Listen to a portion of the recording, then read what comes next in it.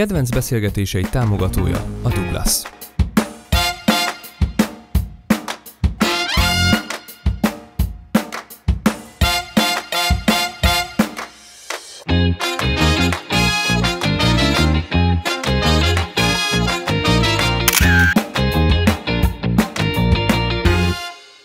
Az osztályból senki nem jött el? Szerintem nem is tudnak Nem erről. szóltál senkinek? Nem. Hát, De- lehet. De, de figyelj, semmiben nem láttak az osztályból engem tulajdonképpen. Múltkor a Nóra eljött megnézni a bádogdobot, amikor végre kiszabadult a gyerekektől egy este. Mi, én láttalak téged egy előadásban, Láttál a népellenségében. Hát és arra emlékszem tisztán, hogy, hogy itt vagy a népellenségénél, és azt gondolom magam, hogy pont azt a darabot nézed meg, amiben nincs dolgom. Tehát, hogy fogunk arról beszélgetni, hogy hogyha mit csinálok, vagy mit nem csinálok? Hát ha benne vagy valamiben, akkor van dolgod. Na igen, ez egy jó kérdés, de amikor azt érzi az ember, hogy, hogy valami fontos számára, és azt érzi, hogy esetleg abban beszélhetnénk arról, hogy mit fejlődött, vagy mit romlott, vagy egyáltalán hol van, akkor nem ezt a darabot ajánlottam volna az én pici 15 évemből. Aha. Most azt hiszem elkezdtünk egy olyan beszélgetést, amit már önök is hallanak. Hallanak minket? Vagy engem? Gondoltam, igen, meg fogjuk próbálni, csak nagyon nehéz Mi intimen. lenne, ha közelebb mennénk? Na, menjünk közel. Vagy, vagy közelebb jönnének? Mert kiabálva mégse lehet beszélgetni. Csak azért, mert néznek bennünket. Úgy indult a beszélgetésünk, hogy én azt gondoltam, hogy majd itt fogunk találkozni, és akkor de jó lesz ennyi év után beszélgetni, és úgy indult a, az este, hogy az Andor közölte, hogy hogy képzelem, hogy már mit is mondtál. Nem tudom, mire Hát, gondolsz? hogy nem, nem reagáltam semmire, és hogy egyébként is, szóval elindult egy beszélgetés köztünk, úgyhogy végül is ez valahogy így fog kinézni, hogy szerintem én is elmondok ilyen sérelmeket, hogy miért azt látta, ő meg elmondja, hogy én miért. Hogy ne így nem nézzen ki. sérelem. Nem sérelem. A, azt kell tudni, őt ismerik, ugye lehet. De jó neked, mindenki ismer. De az, hogy, hogy a, a felvételin ö, volt két ember, aki számomra egy örök, örök ö, tanulság. Hogy a főiskolán a felvételik valahogyan iszonyan agresszívak voltak mindig. Amit én nagyon nem szerettem, amikor elkezdtem tanítani őket, ezt az osztályt, és a felvételi harmadik szakasza után van az eredményhirdetés, hogy kit vettünk föl. És a Lehel ott ült a első vagy második sorban, és mellette a Krisztik Csaba, aki szőkébe az, ami ő barnába. Ott ültek, és amikor azt, azt fölolvastam, én olvastam fel, hogy kit vettünk föl, azt hiszem a Csabát olvastam fel, hogy Krisztik Csaba, nem a Csaba ugrott fel, hanem a Lehel örömében. Halál boldog volt, hogy a Csabát fölvettük. Aztán egyszer csak a Lehelt is beolvastam, akkor meg a Csaba ugrott egy óriásit, és azt gondoltam, hogy egy osztálynak ilyennek kell lenni. Hogy nem rögtön önmag, csak önmagára gondol, hanem a barátjára is. Fantasztikus volt. Így indult a, a mi találkozásunk, illetve hát előtte három felvételi időszak. De egyébként ez jellemző volt az osztályunkra. Legalábbis szerintem mindig is egy jó közösség voltunk, és még most is, ha, ha hosszú időn talál, idő után találkozom mondjuk velük, akkor sem kell messziről felvennem egy beszélgetés vonalát. Tehát valahogy... Hát. Hát most azért vett föl. Most vett föl. Jó, most fel fogom venni. Körülbelül három éve, na, mikor születtek a gyerekeid? Hát három és fél éve született. Mondom. Én elmentem az esküvőjére, a életem Az legszebb volt. esküvője. De tényleg egy hatalmas parkban volt a, a, az esküvő, és egy, volt egy, egy tó, vagy nem tudom micsoda, és volt mögött egy építmény. Egy ilyen, mikor ilyen a 200-300 évvel ezelőtti stílusban, valami építmény, jó messze a, a nézőseregtől, meg akik hozták a virágot, ott álltatok a tó túlsoldán ebben az építményben a mennyasszonyoddal. Elképesztő látvány volt. És olyan büszke voltam, hogy hoppá, az én tanítványom talált egy nőt magának, és elvesz. Mert addig ez olyan Addig is, lehetetlenek volt, addig is volt, csak aki el, akit elvesz feleségül. Ez óriási dolog volt. Utána leültek egy padra, leültek közénk, és akkor ott valamit, egy pár szót velem is beszélgettél, és akkor eltűnt. Most azóta nem találkoztunk, tehát ez három és fél éve van. Egyébként találkoztunk, csak az nem olyan este volt, ne haragudj, nem fogok ilyeneket sem. De Csak volt egy osztálytalálkozó most nemrég, emlékszel? És akkor Ha most nem rég, akkor én nem voltam ott. Hát ott voltál. Dehogy volt. Hát akkor az egy éve volt, vagy két éve. Akkor nem volt. A, a három évvel ezelőtt ott volt. Három évvel ezelőtt volt, igen. Hát, így Mert még csak egy gyermek volt, igen. Most egy fiatal igen. ember ennyire emlékszik az időre. Igen, és ez, igen, ez egyre rosszabbnak és kilátástalannak tűnik. Úgyhogy lehet, hogy azt a bort Na kinyitjuk. jó, mindegy, sem, semmi szemrehányás, csak tehát, tudod, van úgy, hogy, hogy valaki, tehát van két-három ember az osztályban, akivel gyakran szerettem volna találkozni. De elég szemérmes vagyok ahhoz, hogy állandóan fölhívlak, hogy lehel, nem ész rá. De oly- olyan, mint egy ilyen... De egyébként én kerítő- felhívtam, és úgy indult az egyik felhívás, hogy egy- nagyon részeg voltam, és egy premier buli volt, és felhívtalak. És azt mondtad, hogy két ember hív fel téged, az egyik a Csúlya Imre részegen hajnal háromkor, a másik én vagyok. Úgyhogy ha nem haragszom, akkor most te aludnál. Hogy azóta óvatosabban bánok a telefonokkal. Na jó, de Igaz, hogy milyen, hajnal három volt, tehát ez hozzá. milyen tanítvány az, aki hajnal háromkor fölhívja a mesterét? Tök részegen. Igen. Hát valahogy, be- valamikor meg kell köszönni. Akkor tűnt megfelelőnek. Meséljünk-e valamit? De itt ez, hogy megy ez itt? Mesélnek a színészek a közönségnek? Vagy beszélgetünk és kihallgatnak bennünket? Igen. Aha. Tehát úgy kell csinálnunk, mintha nem lennének itt. Jó, próbáljuk meg. Akkor otthon érzem magam.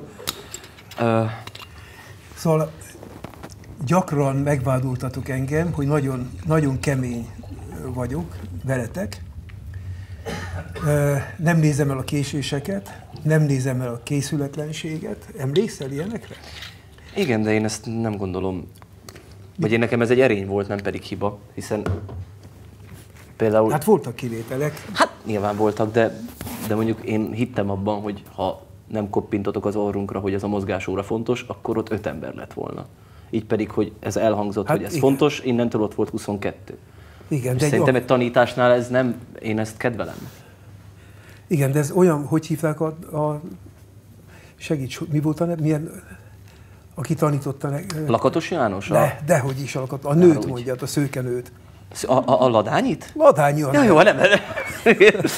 Reggel nyolckor órátok volt. Igen. Ugye, én Pilisboros Enőről beutaztam, és beültem az órátokra, és néztem a fejlődéseteket, meg egyáltalán elképesztő volt, amit művelt veletek, és ahogy reagáltatok, és ahogy csináltátok az egészet. Na most utána fél, a fél éves vizsgán az Ódrin léptetek föl. Emlékszel erre a nagy zenei Emlékszem, igen. művetekre? És elképesztő, elképesztő volt. Csodálatosan táncoltatok, énekeltetek, akrobatizáltatok, mindent csináltatok, és a végén az Asser Tamás ott ült sírva a nézőtéren. A Máté Gábor még akkor beszélt velem, azóta már nem. Akkor odajött hozzám és mondta, hogy, hogy hát Andor, ez olyan volt, mint mikor évek óta várunk egy nagy nyugati csoportot, és megérkeztek. És ti ezt fél év alatt csináltátok meg. Úgyhogy ez egy ilyen osztály volt. És én azt hittem, hogy ennek, amíg én élek, meg amíg egyáltalán kapcsolatban lehetünk, lesz folytatása valahogy. Tehát, hogy együtt dolgozunk. Majd most nem akarok rögtön erről beszélni, mert ugye volt a, a Bolero, ami, Igen. amiből aztán lehetett volna bármit csinálni. Mondjuk egy, hát az egy nagyon Európa szintű, vagy világszintű előadás lehetett volna. Na jó, én most elfáradtam, most Mi? beszélj te. Igen.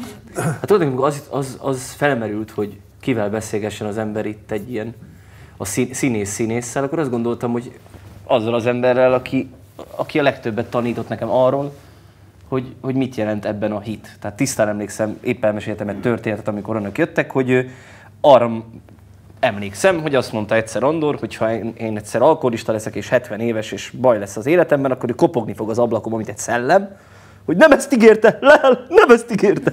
És én azt gondolom, hogy így kell tanítani. És, és arra is emlékszem, hogy sokan, például a Jordán Tamás, aki a másik, másik osztályfőnökön volt, ő azt mondta, hogy ezt a szakmát nem lehet tanítani.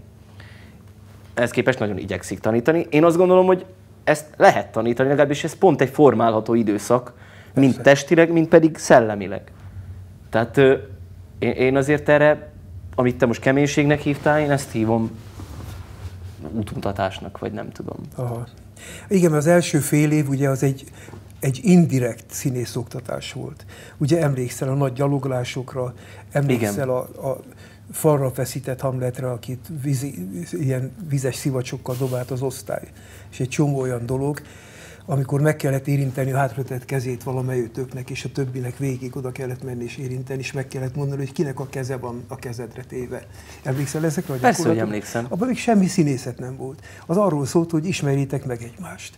Például keze melegéről, hidegéről, fogásáról. A legcsodálatosabb, amit én megpróbáltam egy közösséggel, de kudarcba fulladt, az, hogy egy órát kellett beszélni úgy magadról, mintha most Andor nélkül ülnék itt, és önök nem kérdezhetnének, nem szólalhatnának meg, és egy órán keresztül beszélnem kell magamról. Ez írtózatosan nehéz, Na, próbáld meg, önnél elhallgat. de nem, nem, nem, én inkább vinnék is. De hogy... Így. Jaj, köszönöm. Kedves egész. Egészség és bocsánat, vagy mi? Önök, igen. szóval, hogy az egy nagyon, nagyon tanulságos dolog volt, hogy, hogy mennyi vetületét az osztálytársaimnak megismertem, és az életét. És egyébként egy csodálatos osztályt választottak ők, mert emberanyagban nekem nagyon sok ember hiányzik. Például Mercs rettetesen hiányzik. Hát nekem is, persze. A Mercs, aki... aki Hát most 22-en kell itt beszélgetni, úgyhogy nem férnénk el a, ugye, mert emlékszel arra, amikor csináltam veletek a harmadik felvételin, fel- felvétel előtt mindegyikkel csináltam egy interjút kamerával. Emlékszel erre? Hogy nem emlékeznék. És a Mercstől azt kérdeztem, hogy mit szól a szürrealizmushoz. És a Mercs az nézett rám, és az, hát a szürrealizmus, az a szürrealizmus, ah, hát az a szürrealizmus, ami a, a, a, a szürrealizmus. Ő valami ilyesmit adott el, és ezt levetítettük a felvételin, harmadik menetén a, a tanári karnak. Hát fetrengtek a rögéstől. De az összes videó ilyen remek kérdések volt. Valaki Te megkérdezte, mit hogy kaptál? Milyen kérdést? hát engem zavarba hoztál, hogy tudom-e, hogy van-e valaki, akire hasonlítok. Így. De mit mondtál? Hát azt hiszem valamit, valamit mondtam, de nem azt, amire kíváncsi voltál, mert elkezdett terelni a, a süsű felé, amit én nem, valószínűleg nem is tudtam, hogy ő mennyire jelentős Süsű alkotó. felé? Igen. Az nagyon változott. Én az Al Pacino felé.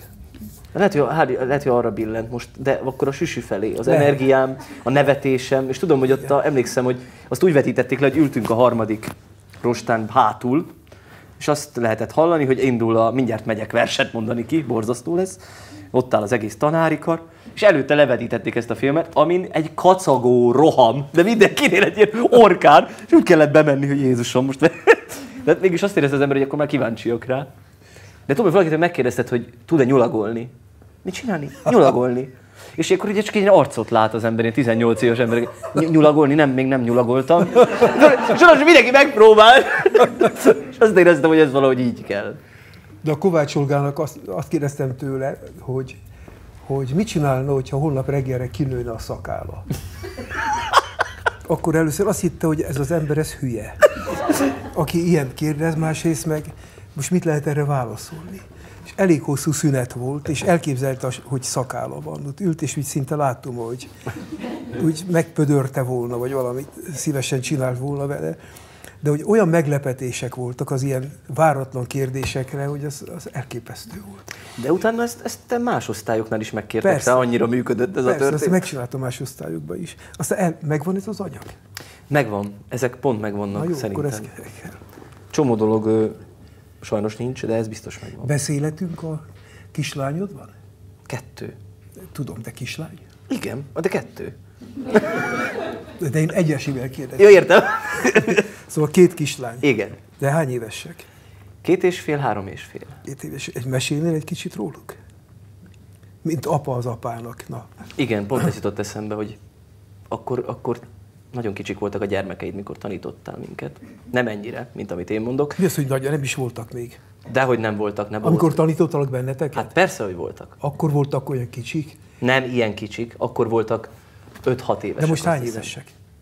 Nagyon nagyok, 20. De hát azt hittem, hogy most kicsik. Ja nem, akkor!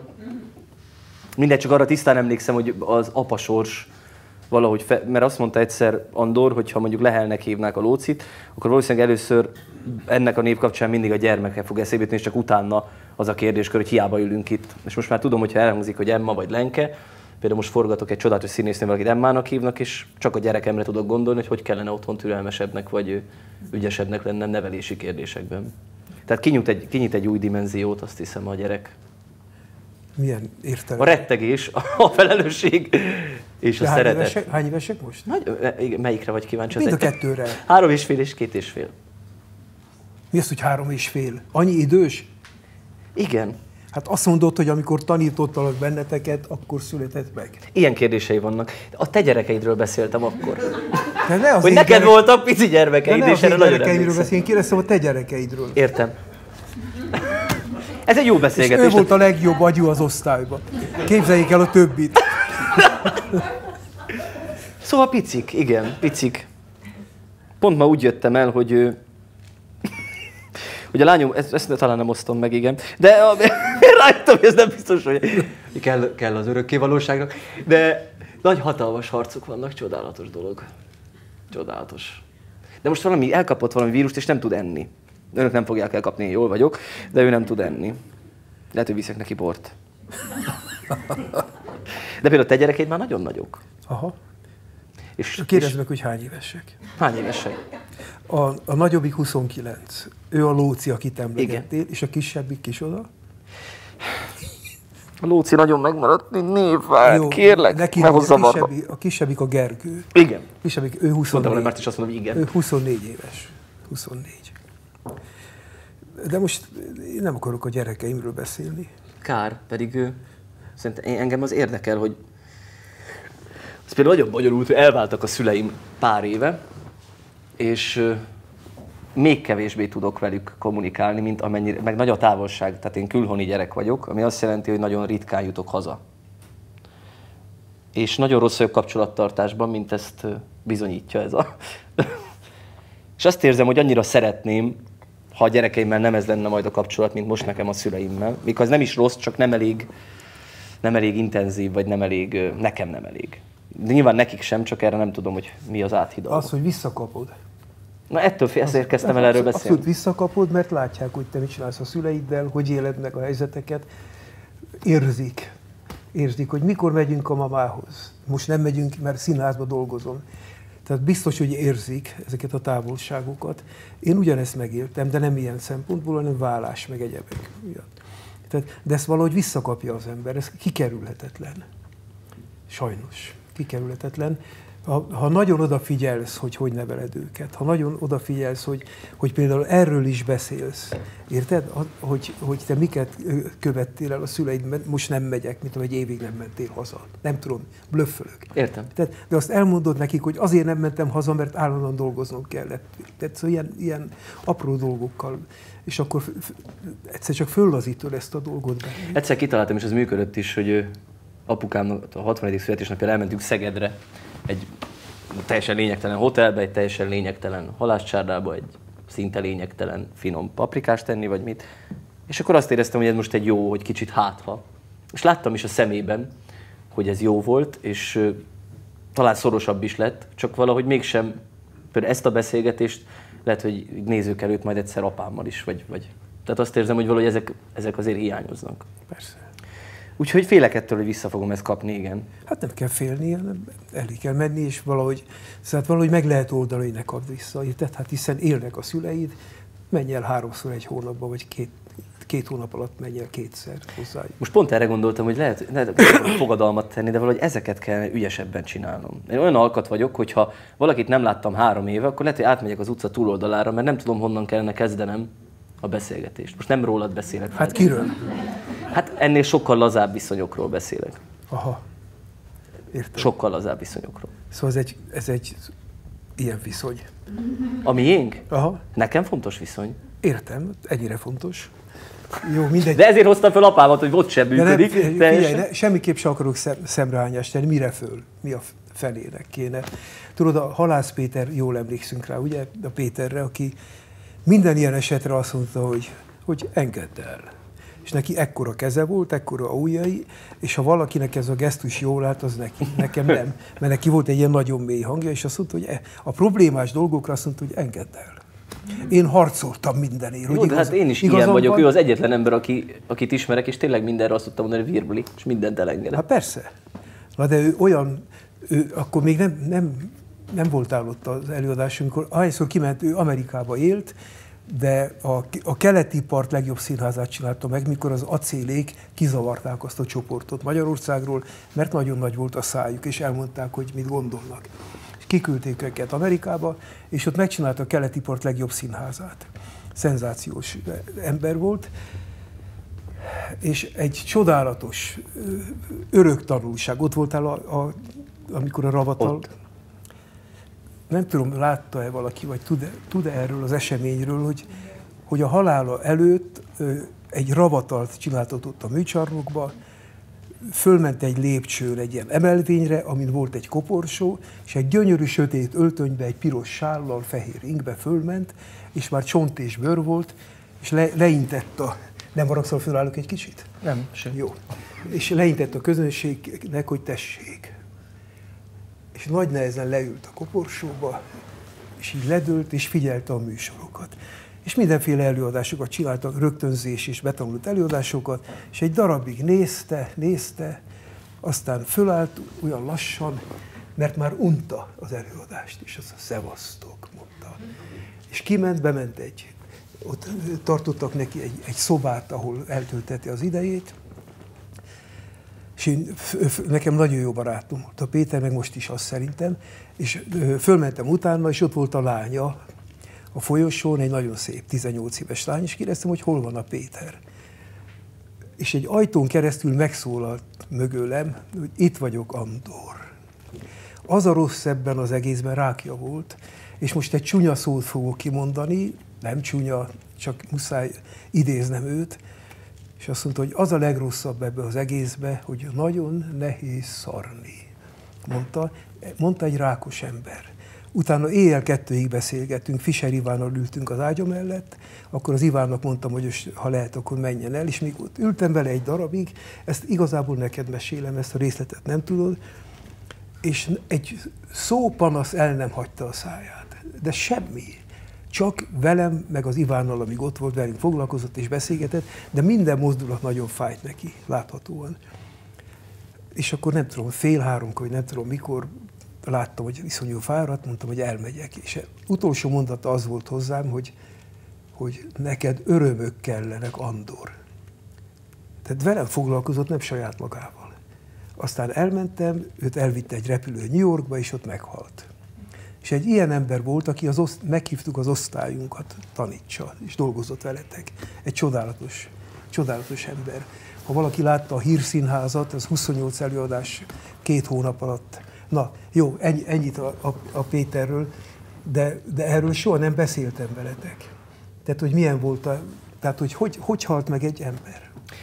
Te e- erről talán nem beszéltél, de a világlátásod, vagy ahogyan ezt a történetet elmondod, arról ez képes vagy úgy történetekről beszélni, és én nem abszurdnak hívom ezt a világlátást, hanem humorral teli humánumnak, amit szerintem mi, vagy én legalábbis nagyon vevő voltam azonnal. Tehát emlékszem, hogy az első harmad rostám az a Martonnál volt, aki bármit csináltam, azt mondta, hogy ez nem jó, hoz másikat, mit másikat, miből, azt sem tudom, hogy mit csinálok, most se tudom, nem, hogy akkor.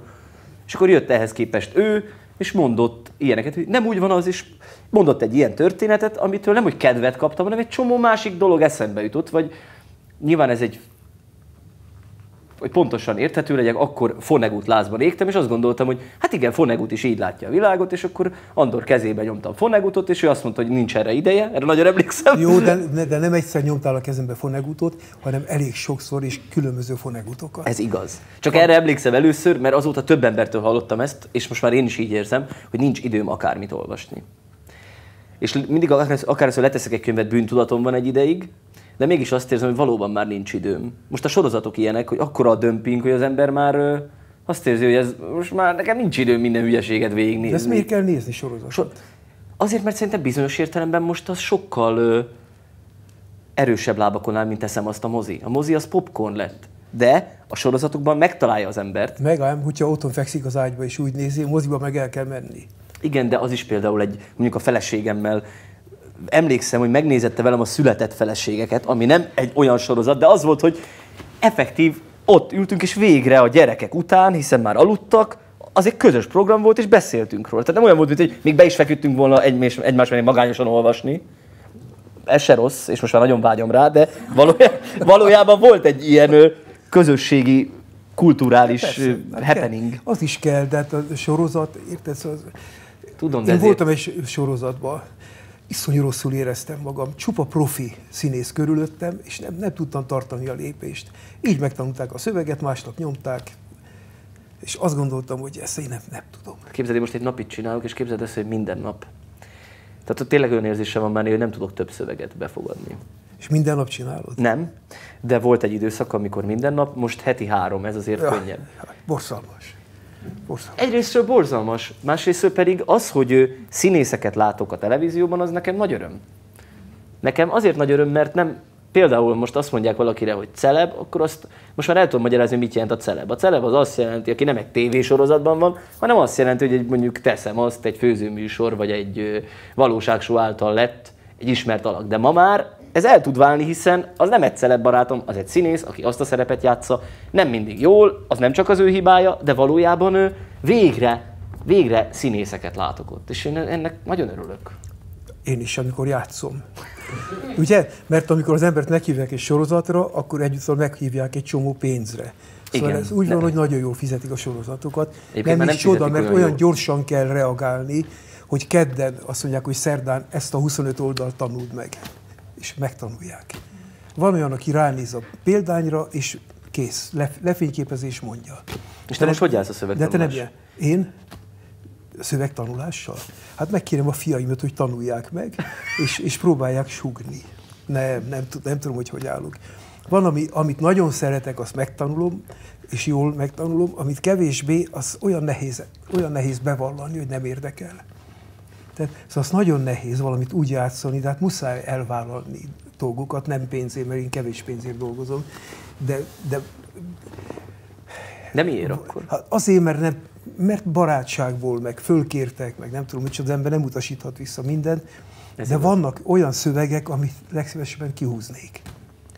Ki is húzok, nagyon sokat, nagyon sokat, de, de aztán van, marad benne sok, amit nem kéne elmondani. Szóval nem, ez a szeretem, nem szeretem, érted? Hogy van, van valami, hát a sorozattal is így vagyok, hogy, hogy valamiért nem szeretem. Értem. Valamit nem szeretem. Felületesnek tartom. Felületesnek. Érted, ilyen gyorsan, gyorsan betanult jelenetek. De ez, és- ez és az itthoni közhelyek. sorozatgyártásra igaz szerintem. Tehát azért, na mindegy, most ebben nem, nem, talán nem érdemes, de szerintem az külföldön igen komoly szinten tud ez működni. Igen komoly szinten. Hát jó, de mi itt vagyunk. Egészséges. Bocsánat, nagyon elhalkultunk.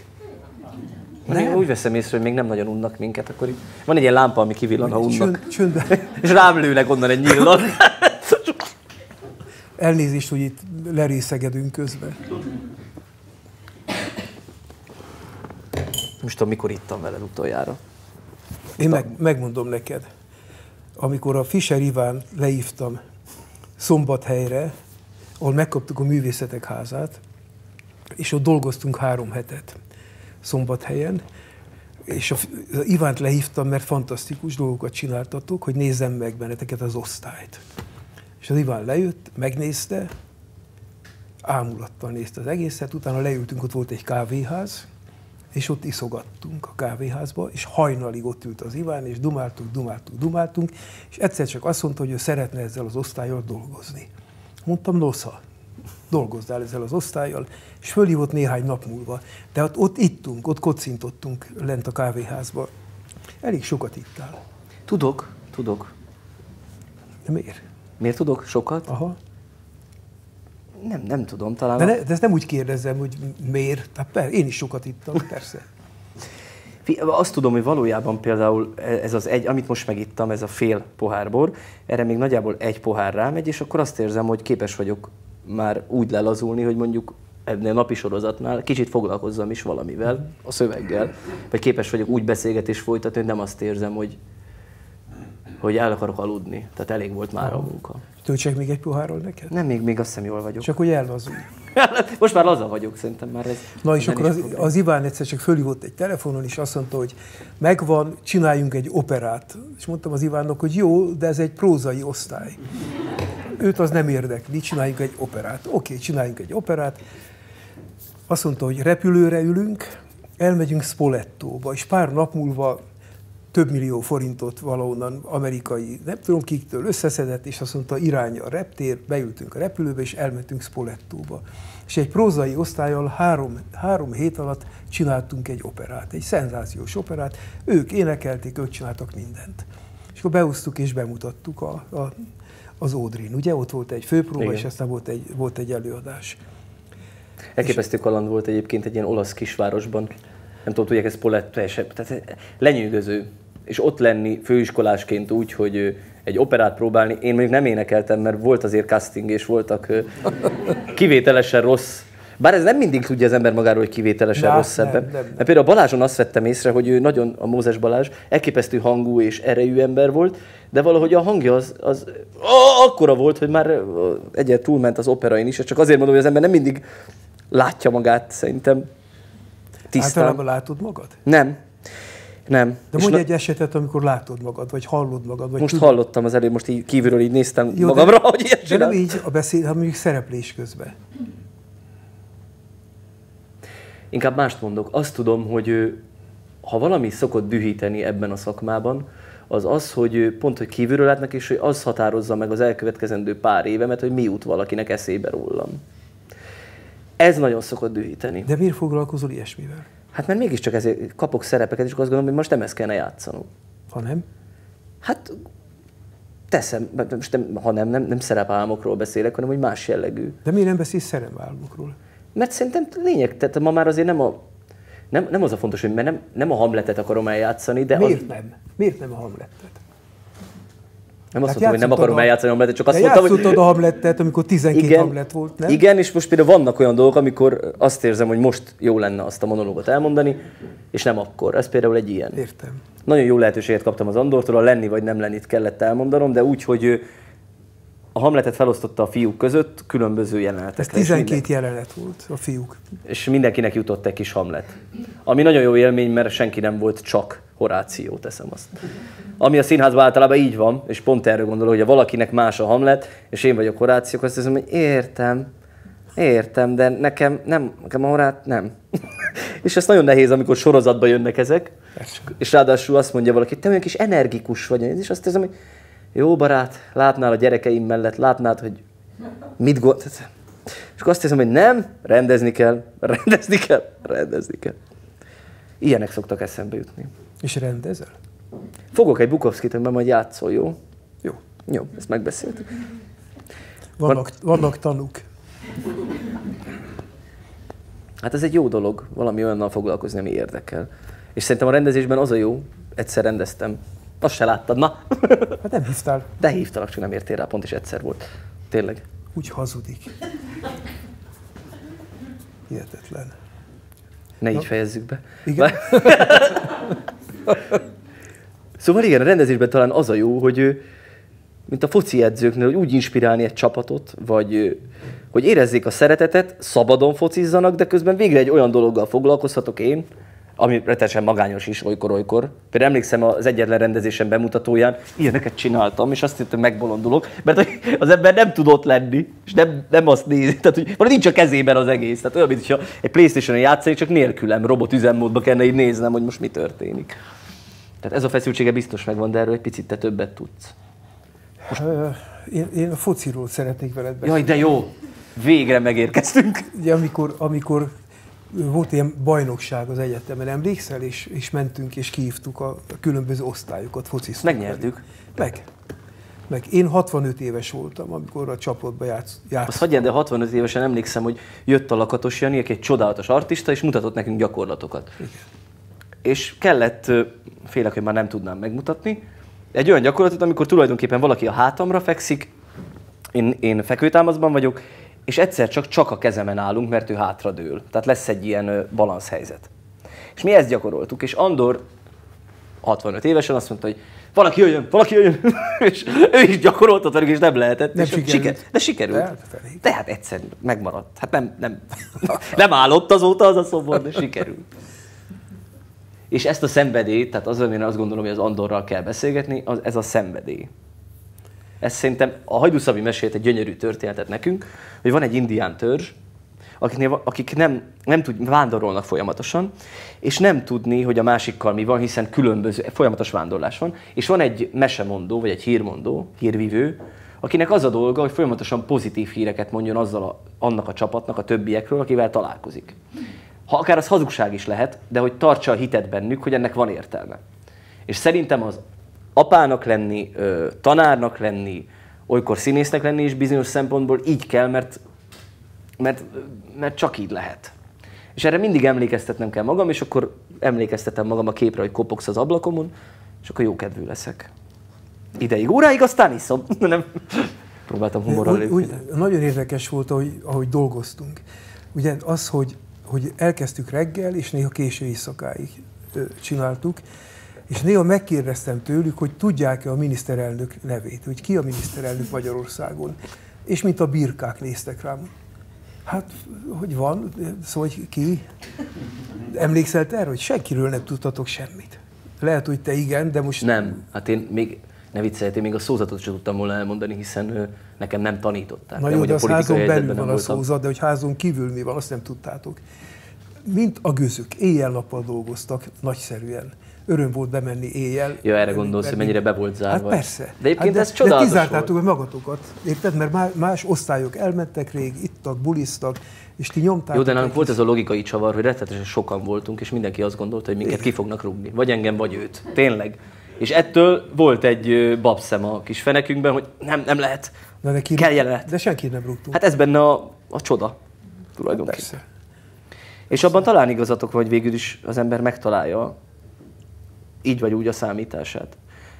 Ha épp nem is ebben a szakmában van, de lehet, lehet hogy ez akkor épp őt jó irányba terelte az a hány év? Négy, mi négyet jártunk. Akkor még négyet, igen.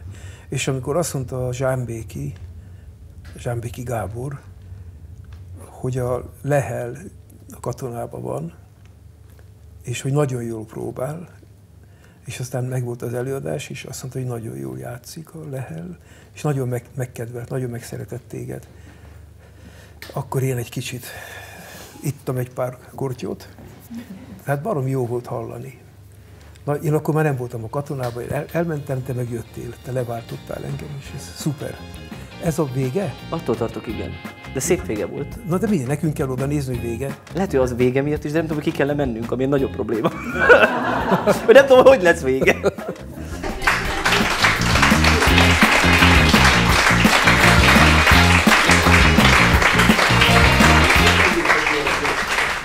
Én nagyon szeretem az orrodat. Én is a tiédet, bár itt, itt van a kedvesem, majd ővel otthon meg kell magyaráznom. Hát de lehet, hogy majd csak ősszel, ha kikerül. Hát de itt van. Ja, itt van? Itt van.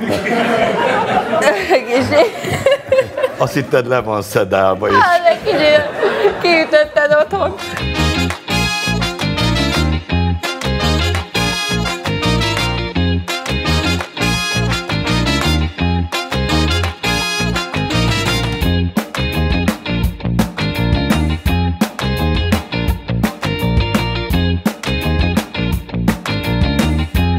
A műsort támogatta a Douglas.